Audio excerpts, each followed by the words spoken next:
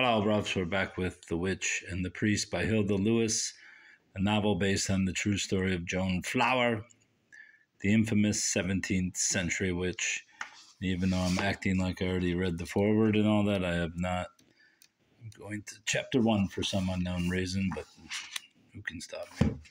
Chapter one To my beloved sister, Hester Davenport, widow of this parish, and upon her death, the son, the sum aforesaid to be used for the building and maintaining of a hospice for four poor women of this parish. The Reverend Samuel Fleming put down his pen. Now, why had he done that? There were bequests more worthy of his charity, a sum to maintain some poor scholar at Cambridge, his own university, a legacy to some poor person. Heaven knew they were hard to put to it, some of them, to keep body and soul together. Learning, piety were not these more important than the comfort of old women who could always beg a crust or scrape a few vegetables from the ground or find an armful of kindling in the woods. He moved, restless, knowing his answer and not relishing it.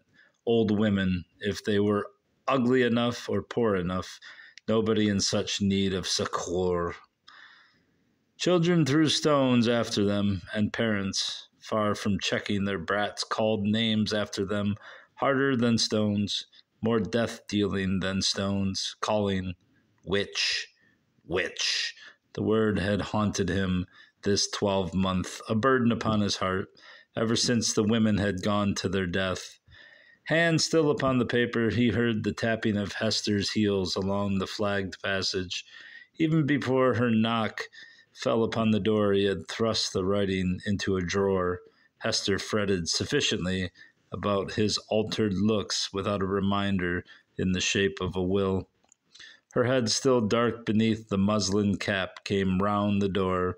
Brother and sister looked at each other. It was hard to believe there was but a few years between them. But though his hair had whitened completely this last year, the likeness between them was clear the good forehead, the eyes kindly yet shrewd, shrewd, repeating the promise of mouth and chin. Samuel, she said, sharp yet tender too, your thoughts run on the matter again. Why must you torment yourself? It makes an old man of you before your time. I have passed my threescore years and ten, he reminded her, rueful. What of it? she asked stoutly, pitying his frail looks.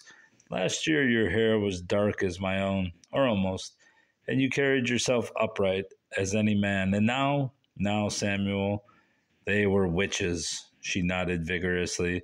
They were witches, all three. Joan Flower never confessed, he reminded her, somber. With her dying breath, she protested her innocence. What did you expect? She denied. But God spoke.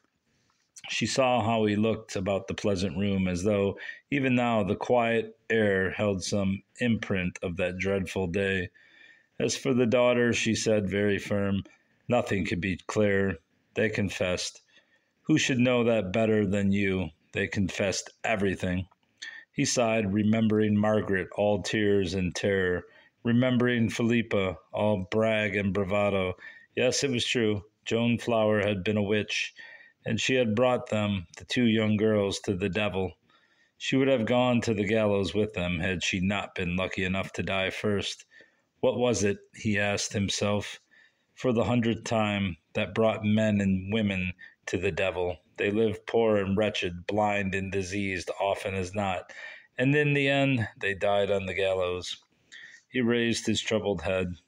What is this power the devil has so that men and women willingly renounce their part in God? Is it that God's servants are not so zealous as the devil's? It is a question I should ask, indeed, must ask. I am a priest, and the women were of my flock. I knew Joan Flower when her goodman was alive, and there were no tales either of whoring or of witchcraft. Yes, and I baptized her daughters. A decent woman, so I thought, not over devout, but coming now and then to church and bringing her girls with her. Yes, she made some show of virtue, Hester told him. Whether to shield her daughters from her ugly ways or to shield herself from their eyes, who can say? When the girls left home, she was not ashamed to show herself in her true colors. She came to church when it pleased her, which was seldom enough. It was then the tales began to go about. Oh no, not of witchcraft, but of the shocking life she led, of the men she welcomed at all hours. Pete and the others. I rebuked her, Samuel Fleming said. I preached against her from the pulpit, but, and he sighed, much good that did, seeing she was not there to hear. The village heard, and it turned its back on her, Hester reminded him. But much she cried, snug in her cottage, carousing with her men. I was not zealous enough. I should have gone into her house. I should have wrestled with her soul. You did go once once only, and he sighed, remembering how he had allowed himself to be driven away. Oh, she had been polite enough, dusting a stool that he might sit. But hostility had streamed from her, pushing him out. He had felt not a priest, but an intruder. He had not gone there again. Even when the tales began to change their character, that was after the girls came home. Still, he had done little enough until it was too late. He had barely listened. It was all too fantastic. The flower women were whores, but they were not witches. You know, he told Hester now. I smiled, actually smiled. God forgave me. Forgive me at the notion of this quiet and peaceful parish of mine suddenly producing a crop of witches.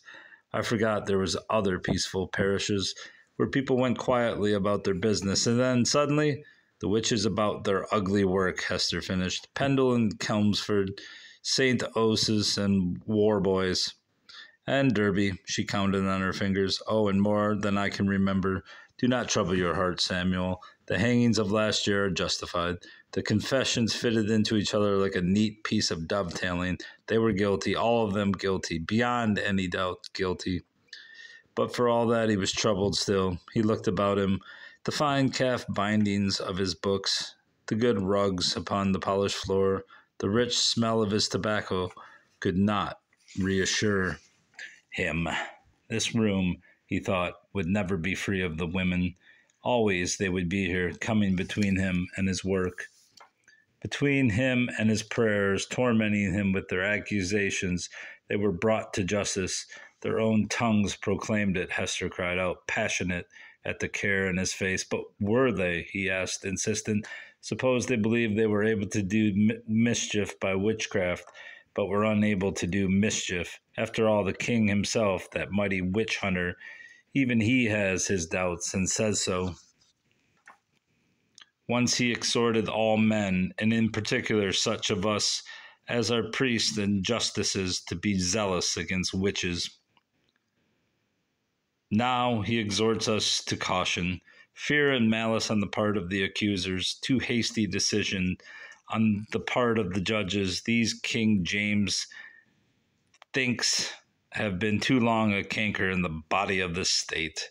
That comes well from him, she went over and took from a shelf a copy of De Demonologia uh, and put it down open before him.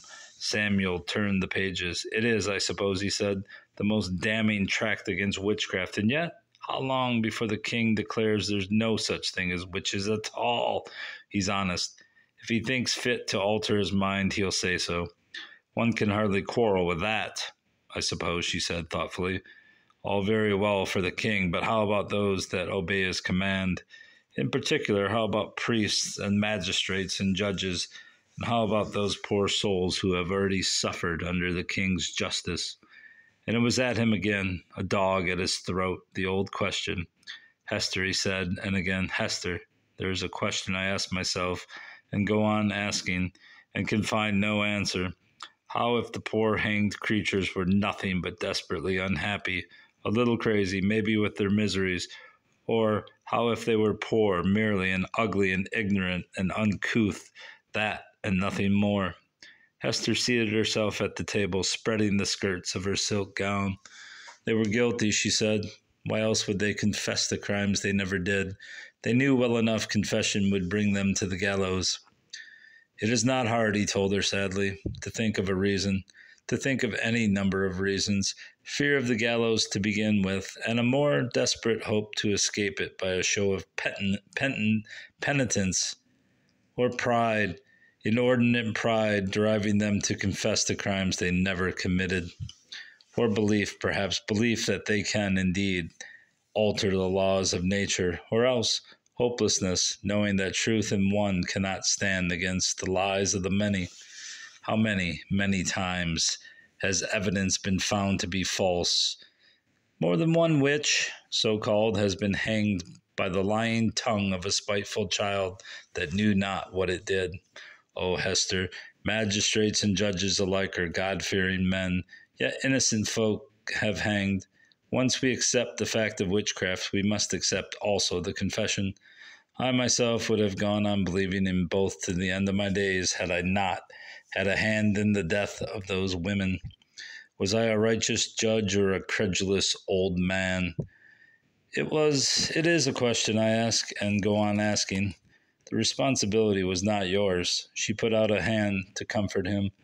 You did not judge the women. You were one of the magistrates, and only one of them. You examined, you did not judge. You found there was a case to answer, and you sent them forward to the Assize. The judge that hanged them was the Chief Justice himself. That should comfort me, he said, but it does not. It does not.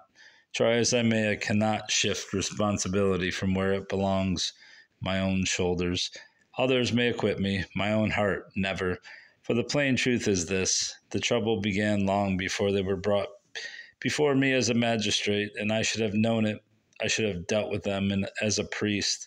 Before everything, I am a servant of God. If I had gone again to Joan Flower, if I had striven again and again, might not everything have been different? But having rebuked her, I was content to forget her.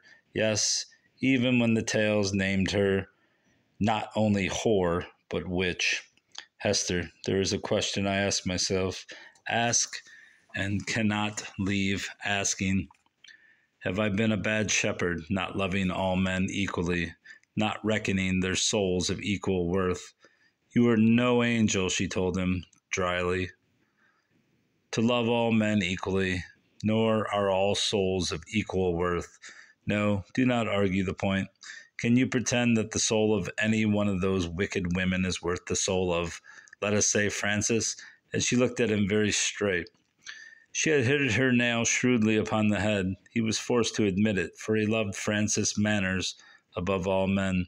Francis, he said softly, the lines of his face relaxed, and she was glad knowing him released, for a little while, of his burden, as chin on hand his thoughts went back to other days, more innocent days. I remember so well the day he was born and the joy bells pealing. I baptized him. I carried him in my arms when he was sick, played with him when he was well. I loved him as a man loves his own son and now Francis is the sixth Earl. Four Earls I have seen, four Earls, but then 40 years, it's a long, long time. His thoughts went back, remembering Edward, the uncle of Francis, who had first brought him to Belvoir, students at Cambridge together. King's men both and good friends. Though one had been heir to a great earldom and the other a simple scholar, when Edward succeeded to the title, he invited his friend, already a fellow of kings and beginning to be known as a subtle disputant, to be his own chaplain. Life was good those days to the two young men up at the castle, down at the rectory, for Edward had given him the living of Bottesford, each busy about his duties and plenty of time for riding and hunting and talking. And then Edward died, young, like so many of his family, and his brother had taken the title. But John had not long enjoyed his dignities. By the end of that same year, he too was dead, leaving his two young sons, Roger, 11, and Francis, 8. Delightful lads, good to look upon, upright and forthright like all the Manners. But even then, there had been a difference between them. Roger waited with his new dignities, 11 years old and an earl, had shown a clear, hard pride. But Francis, ah, Francis, there had always been a simplicity about him, the simplicity that comes not from a great name, but from a great soul, and that simplicity had been his undoing. Samuel Fleming sighed deeply. How much of that candor, that trust in men had come from his own fostering? He had himself strengthened the boy's innate gentleness and trustingness, holding before the child the greatest of all models. He had made Francis too vulnerable. Had he made Francis too vulnerable? Francis, he told Hester now, from the very first, so sweet, so trusting in nature, and I, God forgive me if I was wrong, strove to keep him so. I should have remembered his great position and the jealousies of men. I should have striven to make him hard, hard and shrewd. Instead, I have made him vulnerable. Francis is not vulnerable. He is strong. How many men could suffer what he has suffered, and kindness not turn to poison within him? Yet he is changed, Samuel said sadly so old and cold and shut within himself, only forty, and no more joy in life. He will come back to his own nature, Hester promised, and joy will come with it. A little time ago, goodwill to all men shone from him like a light. It was like warming your hands at a good fire, Hester nodded. They fell to silence, both of them, remembering how the young life that had begun so fair grew overcast, and overcast indeed, Yet Francis had borne it all with a perfect patience. He had married young, and death had robbed him of his bride. And though he had married again to rise up to raise up sons, and though Cecilia was loving and kind to his motherless little girl, the death of his first love had all but overthrown him. And then, a few years later, brother followed wife into the grave, and not the earldom, with all of its honors, all its riches, could comfort him. Yet this, too, he had taken with courage, carrying his grief in silence, bearing himself kindly, and showing himself serviceable to all, rich and poor alike. And then came two little sons to bring light and laughter to his sad house. But the new life he had built with such courage he had not been let to enjoy. He had been made to suffer as few men suffer. Still, he had borne it with the most severe, sweet courage, comforting Cecilia and hiding his own heart's pain, scanting none of the duties of his great calling, and taking all from the hand of God, not knowing it had come from the hand of the devil. It had all begun over six years ago, the winter of 1612. Henry, the elder boy, had peaked a little. It is nothing, Cecilia said, a childish ailment. With the spring it will pass, but neither with spring nor summer had it passed. Instead, the first of the fits had fallen upon the four year old. And then fit following fit, coming quicker, coming stronger, lasting longer, and the frightened child growing daily weaker, and the physicians unable to find cause or cure. Through the long summer days, the child had wasted to his death. Little Henry, with his sturdy limbs and his rosy cheeks, what had he to do with the wasted shell they had lowered into the grave? Samuel Fleming sighed deeply. He had been glad almost to see the tormented child quieted at last. He had thought God had ta- has taken him. Now there is neither hope nor fear. Now there is peace for us at last. Well, he had been wrong. Quite suddenly, the sickness had struck again, struck Catherine, beloved child of her father's first marriage, struck the baby Francis, doubly treasured because he was the only son now, Lord Roos, heir to the earldom. Catherine had thrown off her sickness, the wild, headstrong little girl, but the baby had followed his brother into the grave. Still, Francis had borne himself patiently, not complaining against God, nor blaming any man. He had gone to London, as usual, to attend the King of News, Newmarket and all Everything according to custom, except that a little coffin had gone with him for burial at Westminster. No one at court, even those who knew him well, had guessed at the depths of his sorrow, except the king, perhaps. James, for all of his foolishness, had an understanding heart. Sometimes his foolishness was lit by gleams a wise man might envy, but fate had not done with Francis yet. On his return home, the sickness struck again, the strange, dire sick sickness, sparing his wife as little as himself, as though God had meant to put an end to him and his family altogether. It was then that the whispering changed its tone.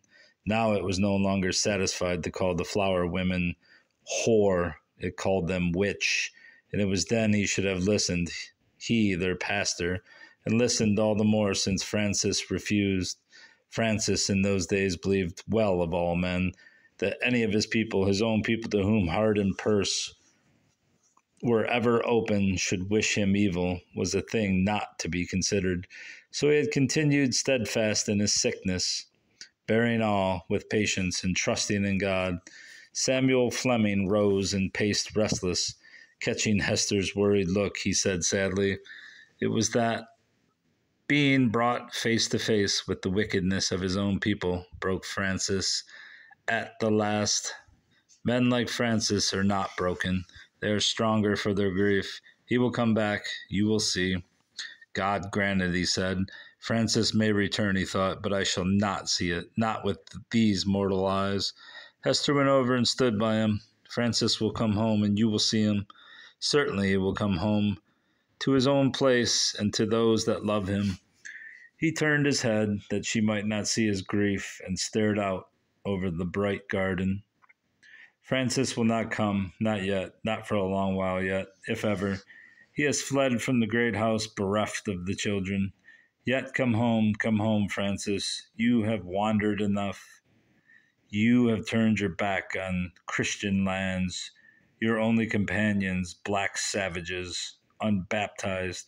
And standing there, sending his heart out to Francis, he fancied he knew what the reply would be. Black savages are more white, more Christian than my own baptized people of Bottesford. But still he went on beseeching, We are lonely without you. Castle and village, come home, Francis, and beget yourself an heir. It is time Francis came home and begot himself an heir. Hester said sad, suddenly with the trick she had of speaking his thoughts. I pray for it night and day. He fetched a deep sigh, thinking how, in the good days before the trouble, there had always been visitors up at the castle, not only the king and his friends, but wits and scholars and poets. Now the great house seemed empty as a tomb. A man needs to rub up his wits, he told Hester sadly. Mine are more than a little dusty. How lonely he is, she thought, watching the restless play of the fingers. Loneliness makes a man restless. Dear Samuel, Samuel, will you not walk abroad a little this fine day? she asked, knowing that as always his sad heart must lead him to his church, and God would, for a little, take away his loneliness. Why, yes, he said, and picked up his hat and cloak. He stepped into the wide, flagged passage and through the kitchens. It was the quicker way, and besides, he loved the wide, cool rooms with the great ovens and the scrubbed tables and the bright pans. Janae, the young maid, lifted a face all rosy from the fire and smiled. Are you wanting the mistress? she asked, bobbing to her curtsy. He shook his head, returning her smile, and stepped out of doors. Spring was warm in the rectory garden. He could feel life sitting in the black, moist earth. And in the bare espaliers on the old, I don't know how to say that word, on the old yellow walls, he crossed the planks that led from the garden across the little river and into the churchyard. The smell of violets went with him all the way. It was quiet within the church of St. Mary the Virgin. Chilly, too, after the springtime garden, cold struck upward from the stone floor through to the bones of the old man, he knelt, a little clumsy, to thank God, as he always did, that his work had fallen in so fair a spot. He rose and looked about him, loving this church of his. Gold candlelight upon gold alabaster, and men and women lying here in the dignity of their last sleep. Even that frail countess who, fearing childbirth, had chosen to die instead, lay here, there, the fruit ungathered from the womb. Yes, even she, with her sick, childish face and her thin body, save for the rounded belly, partook of that same high dignity of death. The candles threw a warm light upon the altar and upon the rough hewn figure of Robert de Roos, watching over his buried heart.